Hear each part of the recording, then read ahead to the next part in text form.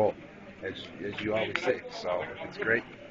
Was there anything on defense they did to kind of set you up to, to have the big first half that you had? Uh, the way they were com- the way the coverage was, anything like that? I mean, you got to be ready for anything for any game, and they have a great defense. They have many great players, and it's just we're all just clicking together as a whole. I mean, Tom was just hitting the open guy, and that's what Tom does, and it was great to go out there and have to play all four quarters as a as a team as a whole. For you personally, I mean,